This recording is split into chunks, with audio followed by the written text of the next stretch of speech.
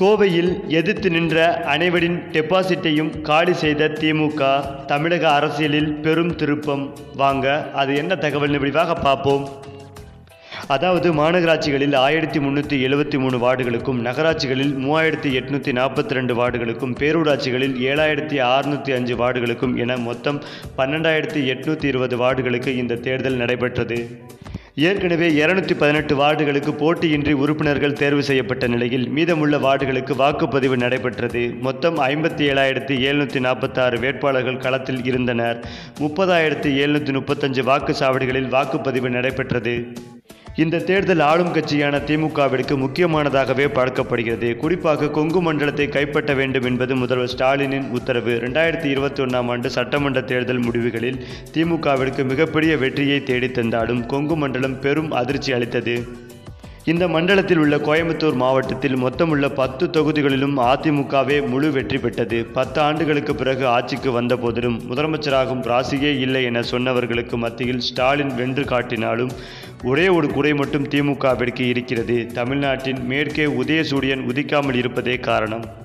என்னதான் ஆட்சி கட்டிலில் மு ஸ்டாலின் அமர்ந்தாலும் கொங்கு மண்டலத்தில் கிடைத்த பின்னடைவு சற்று வருத்தத்தை ஏற்படுத்தியது. இதையடுத்து அந்த பகுதிகளுக்கு பல்வேறு நலத்திட்ட அறிவிப்புகளை அறிவித்து நடவடிக்கைகளை முதல்வர் ஸ்டாலின் முடுக்கிவிட்டார்.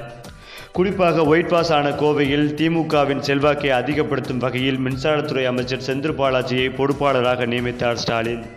செந்தில் பாலாஜியும் இரவு பகல் பாராமல் தீவிரமாக உழைத்து வந்தார். இதற்கிடையில் கொங்கு மண்டலத்தில் திமுக அமைச்சர்களின் செயல்பாடுகளும் ஆக்கப்பூர்வமான விஷயங்களும் பல்வேறு நலத்திட்ட உதவிகளும் அதிகமாகவே செய்து வந்தார்கள். எஸ்பி வேலுமணி கோட்டையை சரிக்கட்ட செந்தில் பாலாஜி தான் சரியான ஆளாக இருப்பார் என்பதே இதற்கு முக்கிய காரணம். தற்போது தேர்தல் முடிந்துள்ள நிலையில் வாக்கு எண்ணிக்கை விறுவிறுப்பாக நடந்து வருகிறது. அதில் கோவை மாவட்டத்தில் திமுகவை எதிர்த்து நின்ற அனைவரும் டெபாசிட் இழந்து வருவதாக வாக்கு எண்ணிக்கை நிலவரங்கள் தெரிவித்து வருகிறது. கோவையில் பல இடங்களில் திமுகவே முன்னிலை பெற்று வருவதாக அதிகாரப்பூர்வ தகவல்களும் சொல்லப்பட்டு வருகிறது. இதனால் வரை அதிமுகவின் கோட்டையாக இருந்த கொங்கு மண்டலம் தற்போது திமுகவின் கோட்டையாக இந்த உள்ளாட்சி தேர்தல் மூலம் உருவெடுத்துள்ளது. சரி இப்போ நீங்கள் சொல்லுங்கள் கோவை மாவட்டத்தில் திமுகவை எதிர்த்து நின்ற அனைவரும் டெபாசிட் இழந்தனர். இதை பற்றிய உங்களுடைய கருத்துக்களையும் உங்கள் கமெண்ட்டில் சொல்லுங்கள் மேலும் இந்த வீடியோ பிடித்திருந்தால் லைக் பண்ணுங்கள் ஷேர் பண்ணுங்கள் மறக்காமல் நம்ம சேனலை சப்ஸ்கிரைப் பண்ணிக்கோங்க. தேங்க்ஸ் ஃபார் வாட்சிங்